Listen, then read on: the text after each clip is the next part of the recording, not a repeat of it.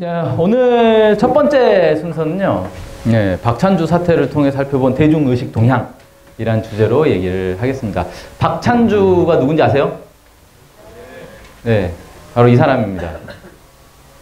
네, 전 육군 대장이었어요. 어, 육군 대장이면 어마어마한 자리죠. 예, 군인으로 치면 거의 이제 이 원수 다음으로 예, 거의 이제 최고 지위에 올랐던 사람이다 뭐 이렇게 볼 수 있는데 이 사람이 이제 어, 몇년 전에 갑질 논란에 휘말렸어요. 그 이제 별 좀 달고 그러면은 이제 아, 별을 굳이 별까지 안 달아도 공관들이 다 나오잖아요. 이 지휘관들 같은 경우는 그래서 장교들한테 이제 나오는 공관인데 공관에서 일하는 병사가 있을 거 아닙니까? 그 공관병이라고 그러거든요. 그 공관병을 공관병은 이제 공관의 이 공적인 일을 해야 되는 사람인데 자기 사적인 심부름을 막 시킨 거예요. 예를 들어서 어 자기 뭐 밭에 감나무에 감을 따라 뭐 모과를 따라 뭐 그런 것부터 시작해서 뭐 자기 아들 빨래를 맡긴다거나 뭐 심지어는 어 자기만 그런 게 아니라 자기 부인하고 심지어 아들까지도 이 공관병을 막 부려 먹었다는 거예요 노예처럼 그리고 말 안 듣는다고 뭐 베란다에 가둬놓는다거나 뭐 이런 이제 가혹행위까지 해가지고 지금 이제 아내 같은 경우는 재판을 받고 있죠 기소가 돼가지고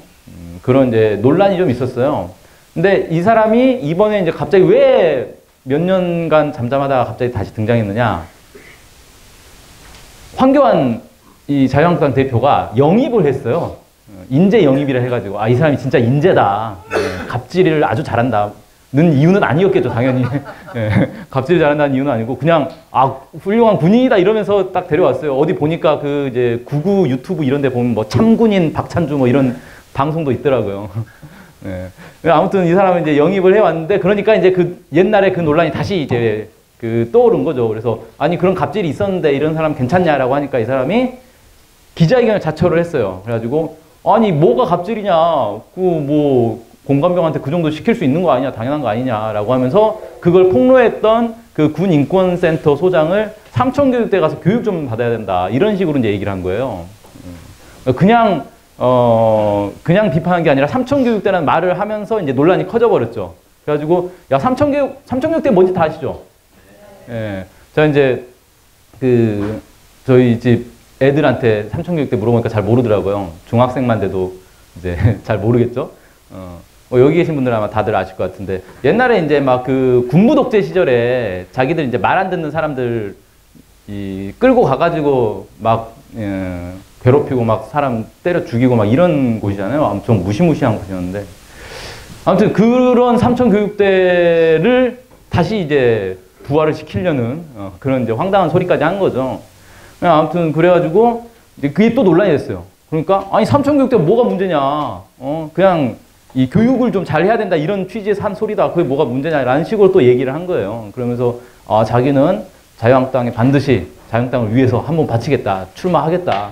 근데 이미 자유한국당 내에서는 쟤 안 되겠다. 잘라야겠다. 뭐 이런 논의가 막 불붙고 있는 시점인데 어, 이런 이제 상황이 된 거죠. 근데 아무튼 이 박찬주라는 인물을 영입하는 바람에 자유한국당이 괜히 어, 이 벌집을 건드린 그런 이제 꼴이 돼버렸는데 그러면서 이제 논란이 커졌죠. 황교안 같은 경우는 이, 자기가 직접 영입을 한 사람이고 그것도 1호로 영입을 한 거란 말이에요. 그 전에 이제 여름쯤 해가지고 인재 영입하겠다고 리스트를 쭉 공개한 적이 있었는데 어, 실제 그건 이제 영입을 하려고 시도하겠다라는 리스트였지 영입을 한 사람은 아니었고 이번에 처음으로 이제 인재 영입이라고 해서 공식적으로 데려온 건데 시작부터 이제 완전히 꼬인 거죠.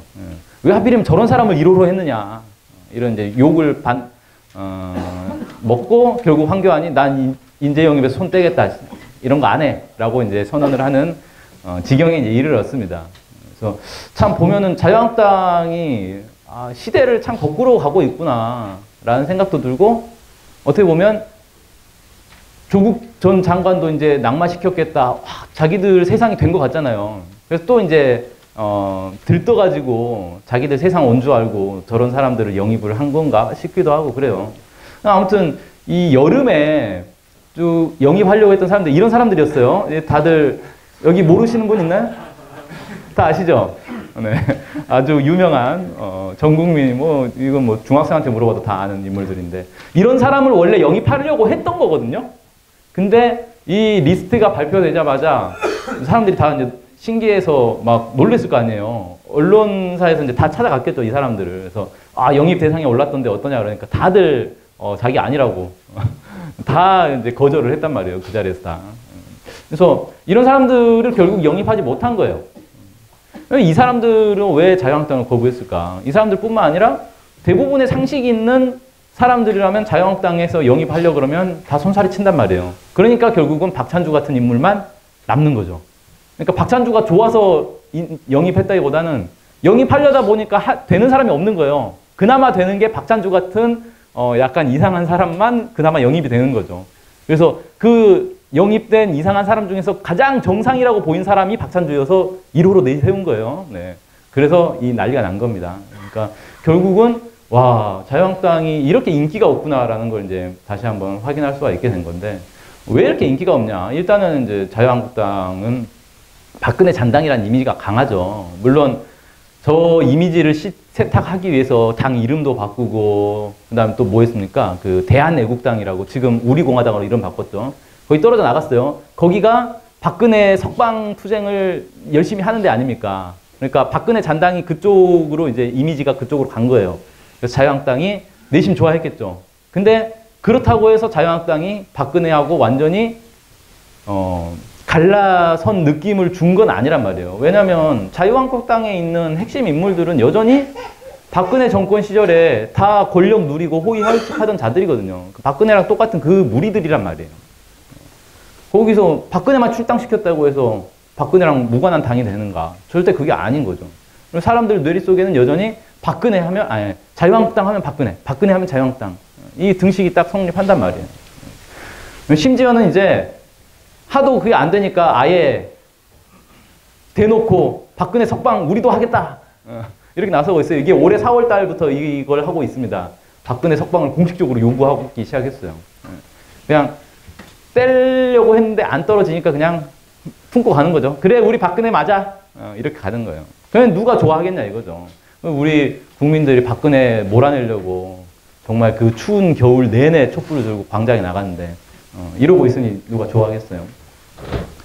그 다음으로는 그냥 수구 꼴통 이미지가 너무 강해요. 어, 왜 그러느냐? 거기에 인물들이 다 그런 모양이잖아요. 어, 이번에 이제 그 올 초에 당 대표 뽑는다고 막 할 때도 보면 서로 나서서 누가 누가 망언을 잘하나, 누가 누가 막말 잘하나, 이 경연대회를 한 거 아니에요. 그래가지고 자기들도 민망하니까 뭐 징계를 하겠다라고 해놓고 결국 이제 우야무야 되긴 했는데 뭐 이런 애들이 맨날 입만 열면 망언을 하고 막말을 하니까 사람들이 볼 때는 자유한국당은 아우 저기는 정말 대책 없는 당이다 어, 이런 이제 얘기가 나오는 거죠.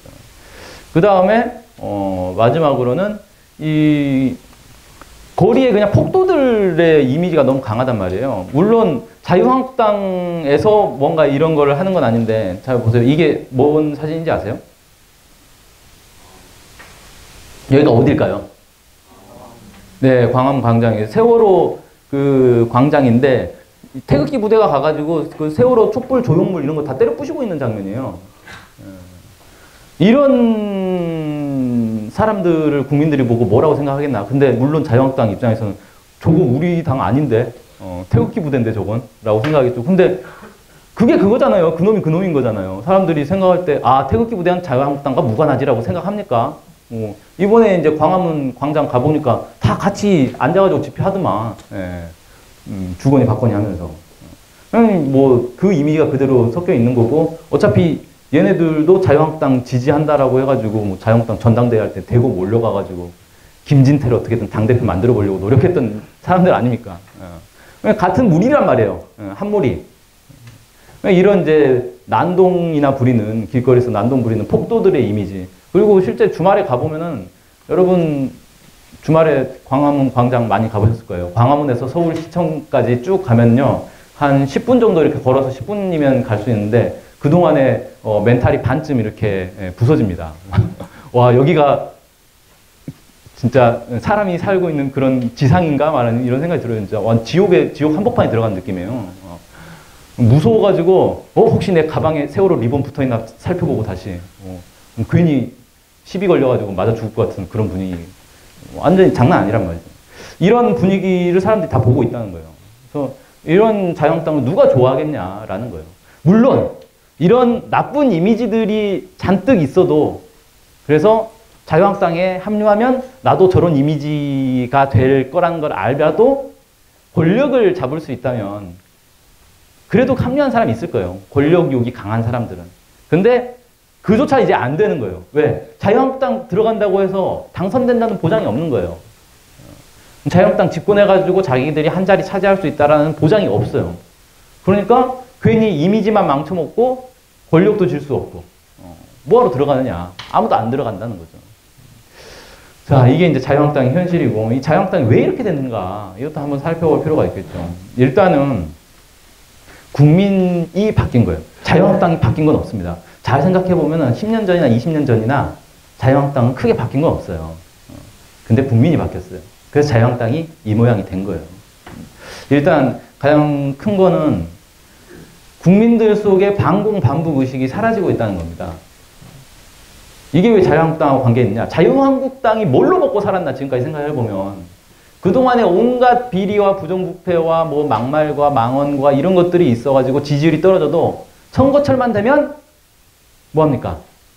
네, 안보 장사를 하잖아요.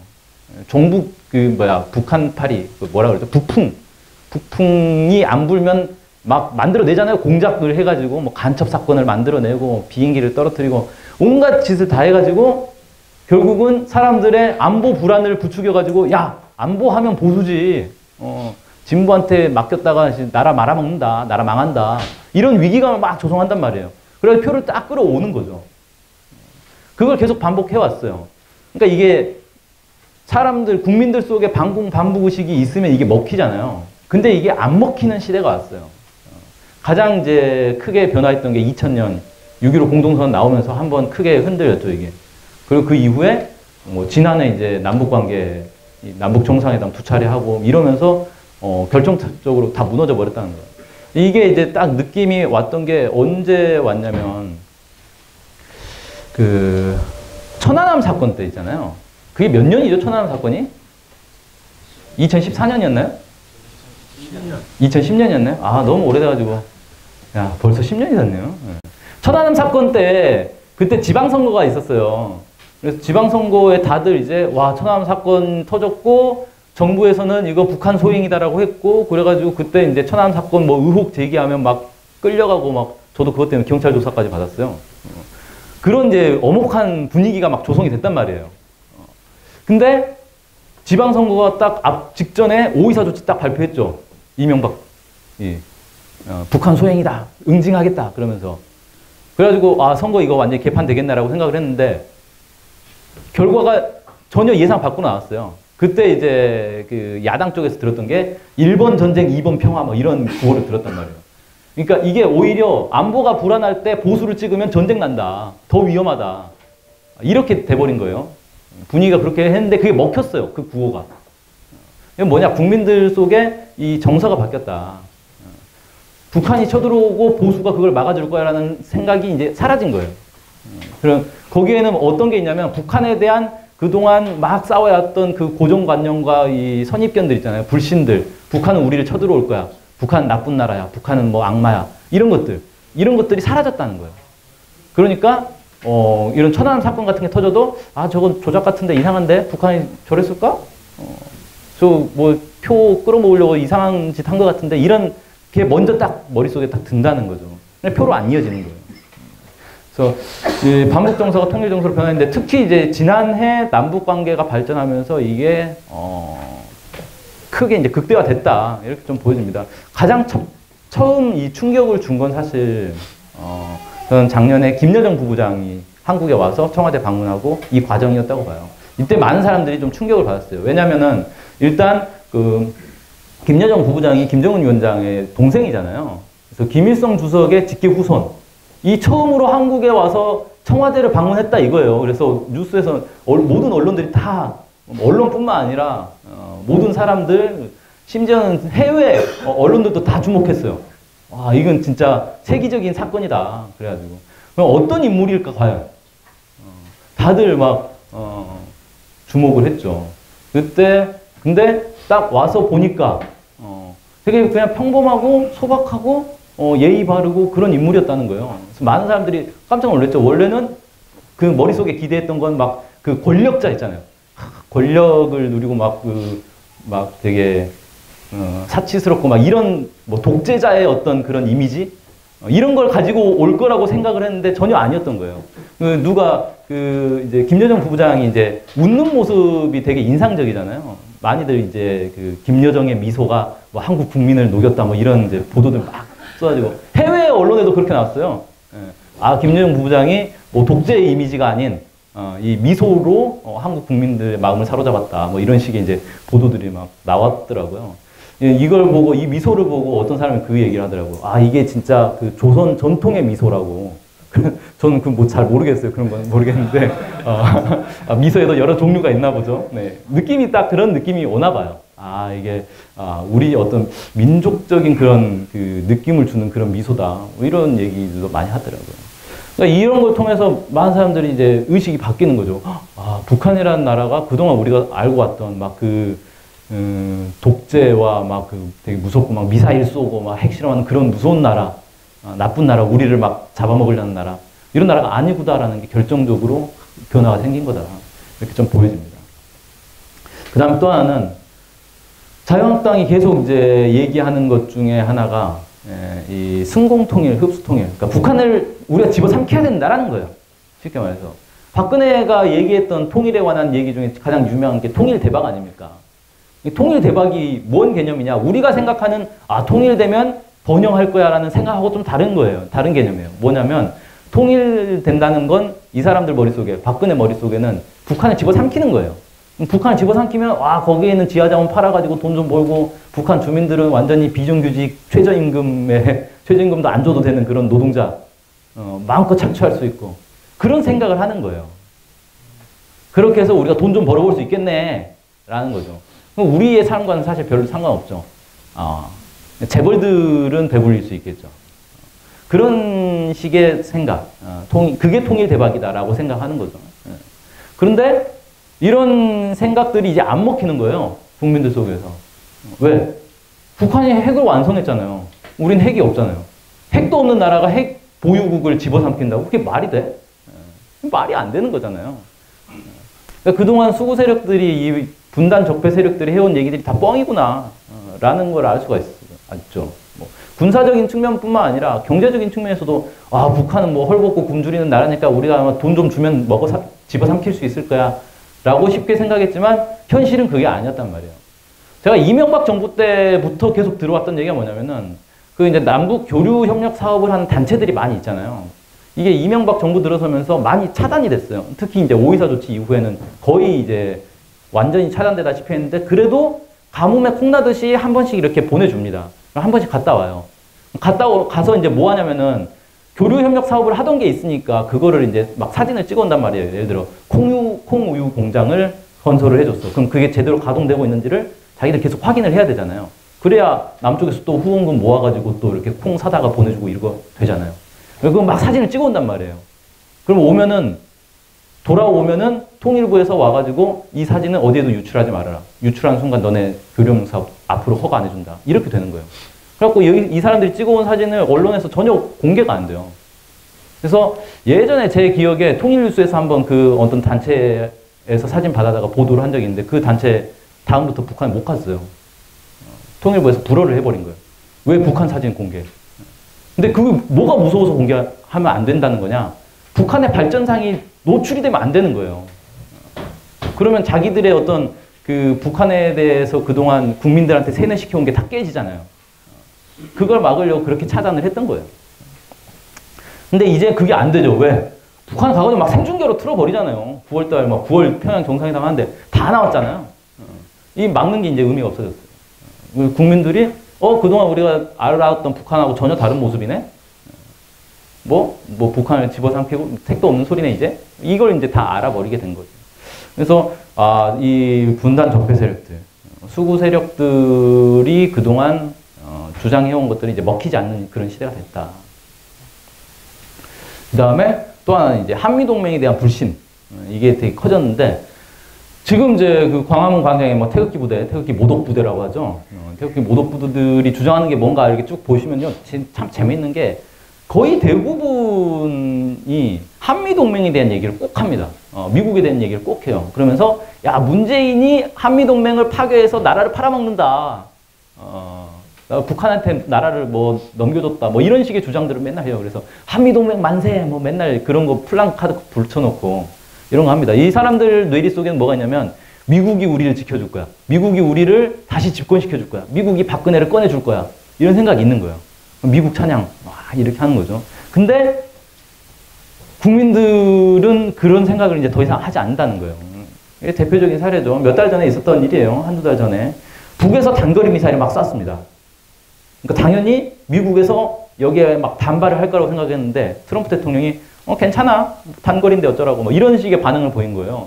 좀 이제 당황을 했죠. 그래서 그때 이제 미국의 한 기자가 물어봤어요. 야, 이거 단거리 미사일이면 한국 입장에서는 그 한국의 미사일이 떨어지는 건데 같은 동맹인 미국이 모른 체 해도 되느냐라고 하니까 트럼프가 하는 말이 어, 그 미국한테 쏜 거 아니라서 우린 상관없고 원래 남북은 항상 그래왔어.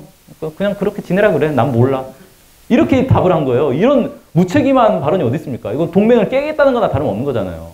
동맹이라는 게 서로가 위험할 때 도와준다는 게 동맹인데 어, 위험하든 말든 나는 괜찮으니까 나는 안전하니까 상관없어 이렇게 얘기한 거잖아요. 이거는 뭐냐면 한국을 지켜주지 않겠다는 선언인 거예요. 어, 해구산이 사라진 거예요. 이미 사라졌어요. 그럼 국민들이 볼 때는 뭐야 미국 우리 안 지켜주네, 우리 안 도와주네. 근데 돈은 달래요. 어, 1조 원 주던 거를 6조 원 달래요. 어디 책에 보니까 60조 원을 달라고 했다고 또 하던데. 뭐, 이, 돈 뜯어가는 그냥 날강도잖아요. 도와주겠다라고 와놓고 도와주진 않고 돈만 달라고 하는. 이게 완전 사기꾼 날강도인데, 이거를 이제 국민들도 다 알게 됐다는 거예요. 그런데 여전히 미국한테 매달려가지고 한미동맹이 최고다. 뭐, 빨리 문재인은 지소미아 다시 뭐 개시해라. 한미동맹 위험하다. 뭐 이런 주장을 하고 있는 자유한국당이 국민들의 정서에 맞겠냐 이거죠. 전혀 맞지가 않다라는 겁니다. 또 하나는 우리 국민들의 민주의식이 엄청나게 성장을 했어요. 그 자유한국당의 그 과거 군사독재 시절, 권위주의 시절에 그런 이미지, 마인드가 그대로 남아있는데 국민들은 민주의식이 확 성장을 해서 이 정치의 주인, 나라의 주인이 돼버렸죠. 그러니 당연히 자유한국당이 이 국민들의 마음을 사로잡을 수가 없는 거예요. 일단 보면 이제 국민들이 자기 주견을 가지고 정치를 대합니다. 그냥 어, 정치인들이 내주는 거, 뭐 전문가들, 언론에서 내주는 걸 그냥 그대로 흡수하는 게 아니에요. 어, 자기가 보고 뭐가 옳고 뭐가 그른지를 판단을 하기 시작했어요. 예전에 뭐 보면 당장에 그 노무현 전 대통령 애들이 공격할 때 어떻게 했어요? 뭐 검찰에서 막 계속 막 정보를 흘리잖아요. 그럼 언론에서 이번 조국 사태랑 거의 똑같은 시기였어요. 뭐 논두렁 시계, 뭐 논두렁의 시계를 버렸네, 뭐 이런 식의 소설을 막 써가지고 언론들이 막 대대적으로 보도를 했단 말이에요. 그러면 사람들이 어, 다 그랬나 보다. 라고 그냥 넘어가요. 아니면 예, 저건 말도 안 되지라고 생각을 해도 사회 분위기가 전반 분위기가 다 그러니까 모든 언론들이 다 그 소리 하고 있으니까 내가 잘못 생각했나? 어, 이런 얘기 하면 어디다 가서 하면 안 되겠네? 이런 분위기가 다 형성이 돼버린다는 거죠. 근데 지금은 그런 게 없어요. 내가 딱 보고 어 저건 맞아, 어 저건 틀려, 저건 이상해. 어, 이런 것들을 확실하게 생각하게 됐다는 거죠. 그리고 더 이상 이제 전문가들에 의존하지 않습니다. 물론 전문가들이 중요한 이 역할들을 하지만 사실 많은 수의 전문가들은 거의 그냥 권력과 이 돈에 그냥 이 영혼을 파는 사람들이에요. 어, 데이터라는 건 얼마든지 조작할 수가 있는 거거든요. 자기들 마음대로 해석을 하는 거예요, 그냥 데이터를. 전문가들이 하는 말은 기본적으로 믿을 수가 없는 게 대부분이죠. 그러니까 어떻게 되느냐? 국민들이 스스로 전문가 되는 거예요. 광우병 사태 딱 터지니까 어떻게 됐습니까? 야, 뭐 전 국민이 다 의사예요. 어, 다 생물학자야. 어, 광우병 뭐 어, 단백질이 어쩌고 막 이런 거 연구를 하더라고요. 어, 그 다음에 천안 사건 딱 터지니까 모든 사람들이 다 선박 그 해양학자가 돼가지고 막 유체역학을 하고 있고 막 다 이렇게 하고 있잖아요. 어, 다 이렇게 된단 말이에요. 박근혜 탄핵 때 보세요. 정치 평론가들 다 필요 없어요. 국민들이 알아서 딱 판단해서 어? 뭐 박근혜가 무슨 발표해? 황교안이 무슨 발표해? 그러면 저건 이런 의도다. 말려들면 안 된다. 어, 저건 저런 의도다. 말려들면 안 된다. 다 분석을 해내는 거예요. 정치 평론가들도 다 헛소리하고 있을 때. 그렇게 돼버렸다. 이 전문가에 의존하지 않고 스스로 이제 직접 정보를 수집하고 분석하는 시대가 됐다라는 겁니다. 그 다음에 당연한 얘기지만 이제 국민들이 이제 꼰대를 싫어합니다. 꼰대가 뭐예요, 근데? 꼰대가 뭡니까? 네, 그냥 나이 많은 사람을 꼰대라 그러나요? 아니죠. 아, 너, 네, 꼰대 저기 등장했습니다. 서로 손가락으로 꼰대를 가리키면서. 네. 그냥 나이 많다고 해서 꼰대라고 하지 않습니다. 나이 젊은 사람도 꼰대로 불리는 사람들 많이 있어요. 어떤 사람들이냐면 자기가 잘났고 자기가 어른이고 자기는 대접받아야 되고 자기는 훌륭한 사람이고 다른 사람은 어리고 무식하고 멍청하고 어, 내가 가르쳐 줘야 되는 사람이고 내가 통제해줘야 되는 사람이고 어, 내 마음대로 이렇게 쥐락펴락 할 수 있는 사람이고 이런 생각을 하는 거예요. 그러니까 이 사람을 층을 나누는 거예요. 나는 위에 있는 사람, 어, 윗자리에 있는 사람, 너는 아래에 있는 사람, 어, 개돼지 이런 생각을 하는 사람이 꼰대라는 거예요. 어. 근데 자유한국당은 그동안 계속 권력을 누려왔잖아요. 군사 독재하면서. 그 마인드가 전혀 바뀌지 않았어요. 여전히 자기 그냥 꼰대예요. 꼰대의 가장 중요한 특징 중에 하나가 자기가 꼰대인지를 몰라요. 절대 자기가 꼰대라고 인정을 안 합니다. 그런 사람들이 보면 꼰대예요. 어. 근데 국민들은 이런 사람들이 이제 아주 혐오한단 말이에요. 어. 근데 그걸 몰라요. 자, 이 사람 누군지 아세요? 네, 민경욱입니다. 보기만 해도 진짜 험악하게 생겼죠? 이런 사람을 한밤중에 길에서 마주치면 어떨 것 같아요, 느낌이? 일단 피해야 되겠죠. 어, 무시무시하잖아요. 근데 제가 이 사진을 왜 갑자기 공개했냐면은 그 인천에 작년 말에 어, 이맘때쯤 좀 재밌는 일이 있었어요. 이 사람이 이제 그 인천 연수구 의리 지역구거든요. 거기서 무슨 이제 행사를 했나 봐요. 그래서 끝나고 이제 그 한밤중에 어, 길거리에 딱 나갔는데 거기서 이제 그냥 길 가던 어, 뭐 버스를 기다리던 사람이 있었나 보더라고. 이제 그 사람이 자기가 이제 민경욱 만난 이야기를 그 지역 맘카페에 올렸어요. 그러니까 아마 이제 애 엄마였겠죠. 근데 자기 혼자 있었는데 이제 민경욱하고 눈이 딱 마주쳤대요. 얼마나 무서웠겠어요. 그 한밤중에 젊은 여성이 저런 이런 사람하고 눈이 마주쳤대요. 혼자서. 근데 이 사람이 딱 다가오서 원래 국회의원들이 여러분 이제 그 국회의원 보시면 아시겠지만 자기 지역구에 가면 모든 사람하고 다 인사를 합니다. 왜? 이게 표 관리 하는 거예요. 당연히 민경욱이 다가와서 인사를 했죠. 안녕하세요. 뭐 잘 지내십니까? 라고 딱 물어봤는데 이 사람이 약간 좀 시큰둥하게 네 그리고 뭐 쳐다도 안 보고 막 이런 식이었나 봐요. 그러니까 민경욱이 약간 당황하잖아요. 오씨 나 국회의원인데 나를 몰라 오네. 아, 밤이라서 잘 못 봤나. 저 여기 국회의원입니다. 라고 얘기를 했어요. 그러니까 이 여성분이. 알아요?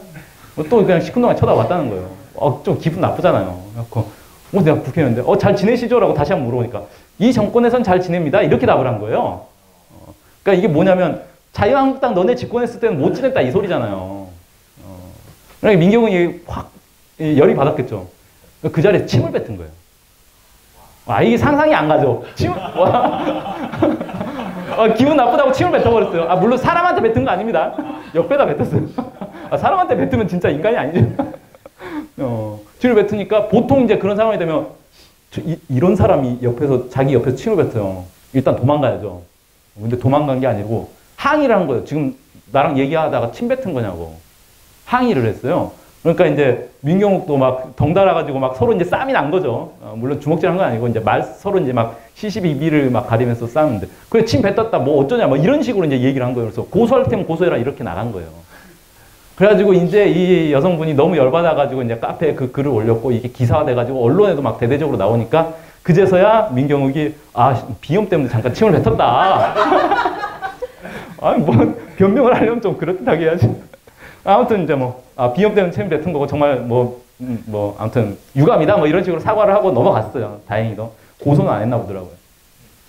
근데 이게 제가 이 사건을 보면서 참 특이했던 건 뭐냐면은 옛날 같으면 국회의원이다, 어, 뭐 장관이다 이런 사람들이면은 자기가 뭐 지지하든 뭐 지지하지 않든 상관없이 엄청 큰 높은 어르신인 거예요. 국회의원한테 어디 감히 대들고 뭐 퉁명스럽게 인사도 제대로 안 받고 이런 게 어딨어요. 어. 어느 당 소속이든 국회의원이 나오면 무조건 허리 90도로 인사하고 어유 잘 부탁드립니다. 이렇게 인사를 하는 게 정상이지. 옛날엔 그래 왔다는 거예요. 근데 지금은 그런 시대가 아니라는 거예요. 어. 국회의원이 침 뱉으니까 막 대들잖아요. 어디 지금 내 앞에서 침을 뱉냐고. 이런 시대가 됐다는 거예요.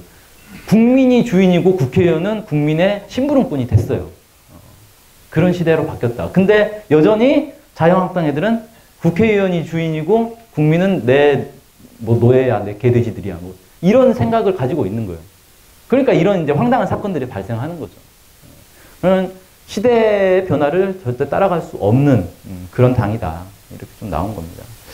자, 그래서 결국은 결론적으로 자유한국당이 어, 이런 시대의 변화를 못 읽고 어, 국민들을 따라가지 국민들의 발전을 따라가지 못하는 이상 자유한국당이 이제 설 자리는 없지 않겠나. 결국은 이제 역사 속으로 사라질 수밖에 없는 그런 당이다.